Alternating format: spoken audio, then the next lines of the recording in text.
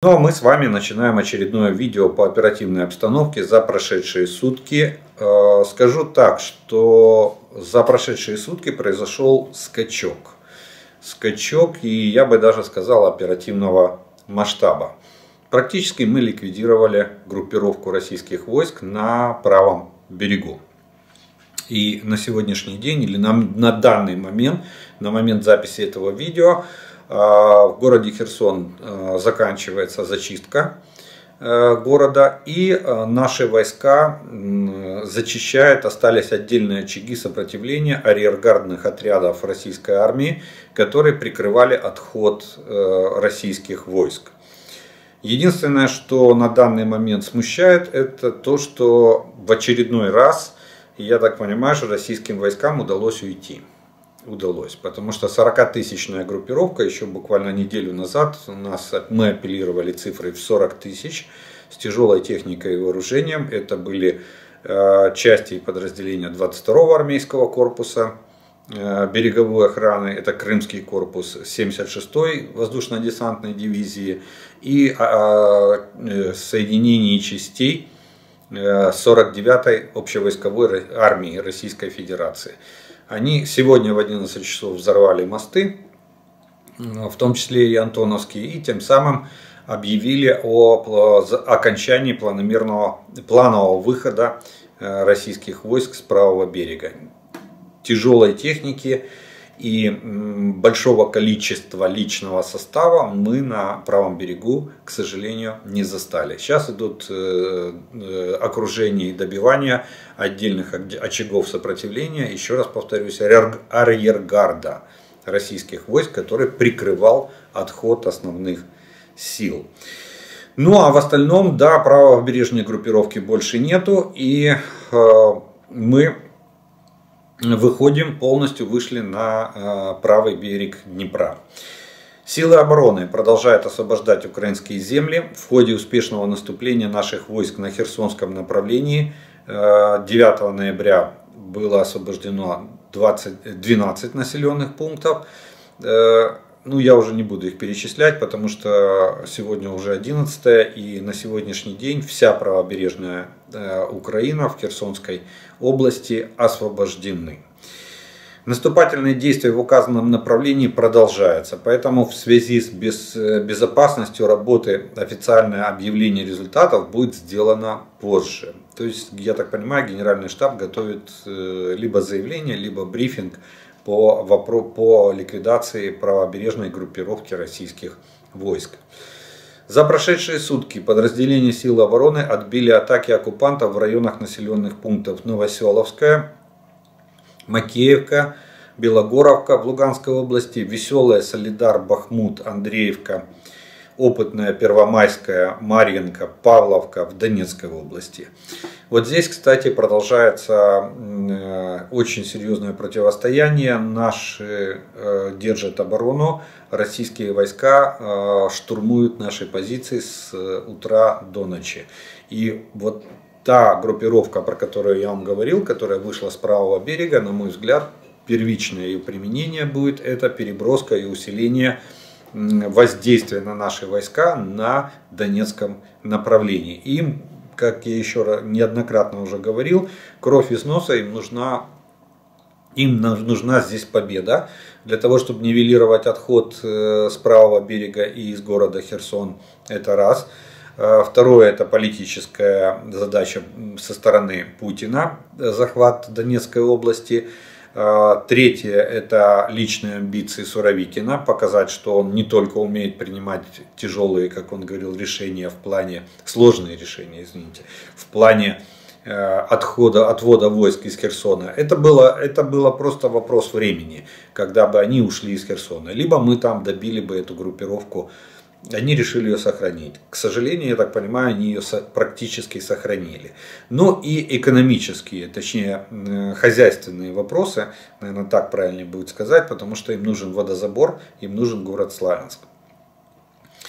Так что мы можем сейчас увидеть все эти части подразделения именно на Донецком направлении. Я надеюсь, что наш генеральный штаб это все понимает, и мы тоже будем усиленно и ускоренно Кто первый, кстати, да, очень хорошее соревнование теперь, кто первый перебросит резервы на донецкое направление, русские или мы.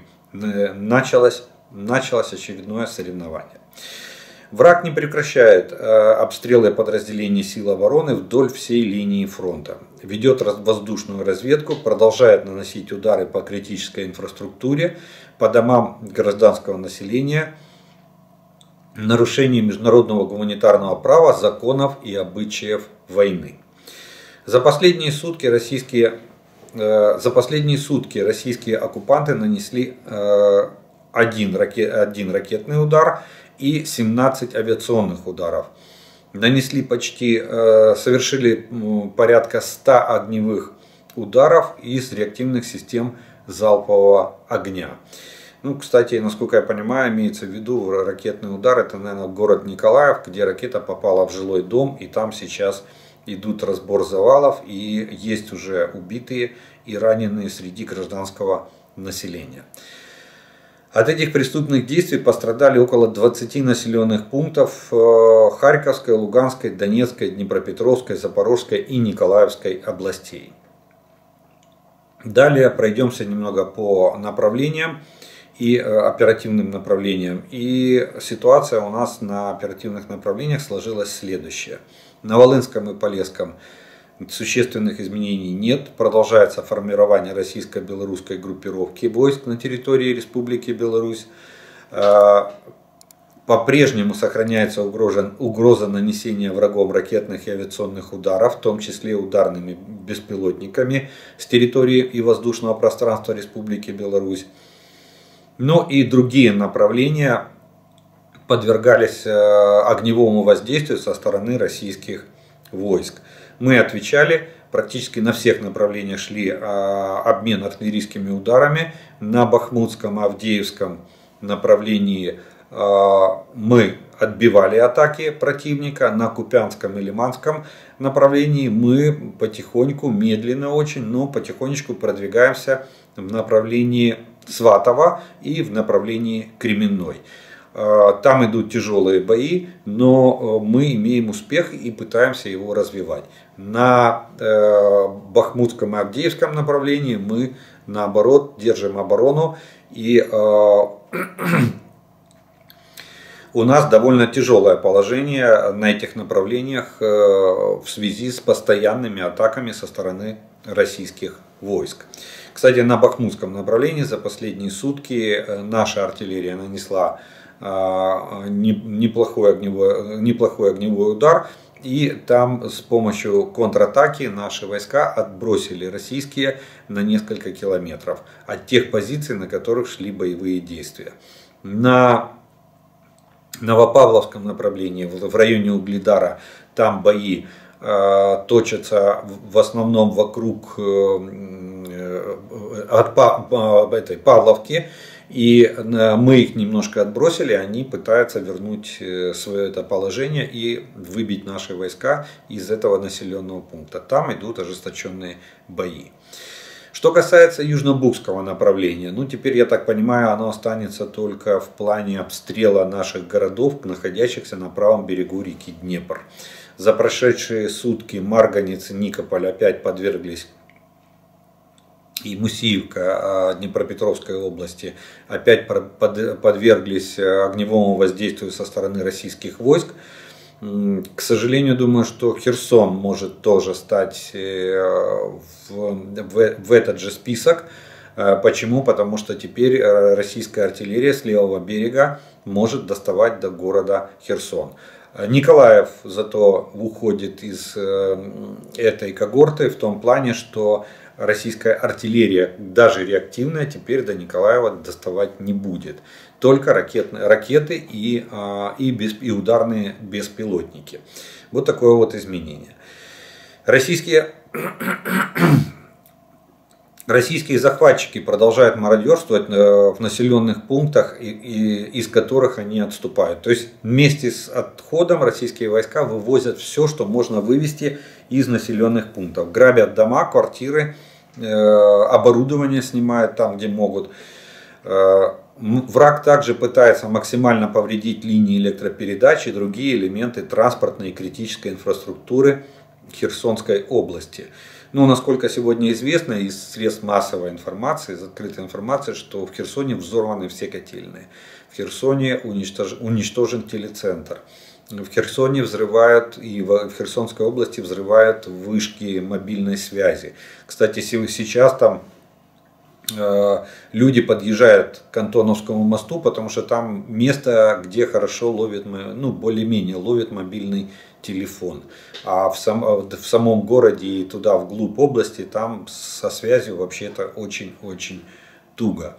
Надеемся, что наши службы теперь, как только закончится зачистка этих территорий, наши э, службы приступят к восстановлению коммуникации и связи в городе Херсоне. Я так понимаю, в Херсоне еще предстоит огромная работа по разминированию города. А, почему? Потому что враг минировал очень много. Мы помним сообщения о заваренных канализационных люках, наверняка они тоже заминированы. И других объектах. И тут же вы не забывайте, что тут не только площадь надо будет разминировать, а надо будет еще осматривать здания, то есть в высоту подниматься поэтажно. Э, смотреть на... Поэтому я бы не спешил на месте гражданского населения, я бы не спешил возвращаться в Херсон, э, именно в связи с тем, что там наверняка очень много оставлено мин-ловушек ловушек и мин-сюрпризов э, от российских войск. Далее.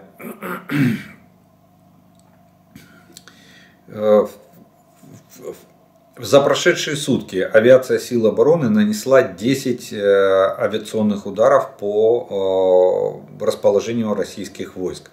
Были э, ударом подвержены 7 районов сосредоточения личного состава техники и вооружений, 3 позиции зенитно-ракетных систем противника.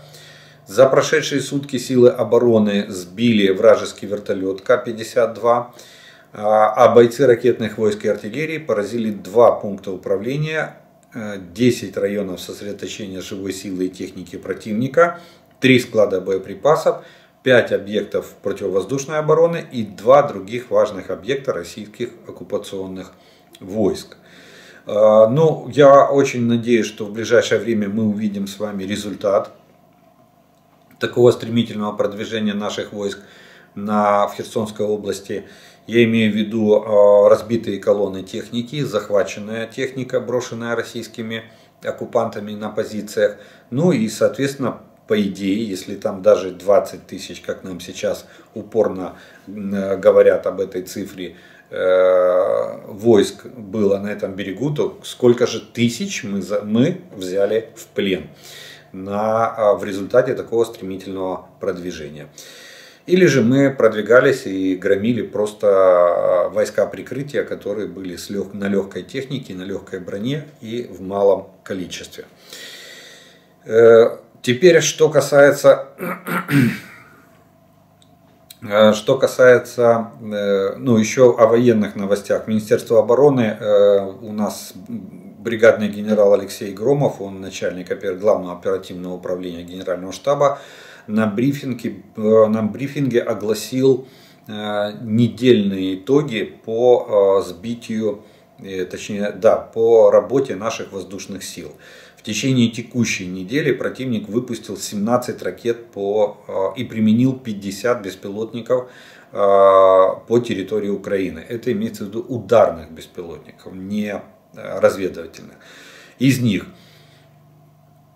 Э, было сбито 24% э, э, ракет, мы перехватили и сбили, и 64% беспилотников. То есть беспилотников почти две трети, а даже больше. А ракет, ну, к сожалению, одна четверть. Но это ракеты были в основном от зенитного комплекса С-300, борьба с которыми у нас на сегодняшний день довольно проблематична. А, из-за того, что они пускаются на малое расстояние и из-за того, что у нас э, ну, нет такого количества противоракетных систем для того, чтобы разместить ее в, в прифронтовой полосе.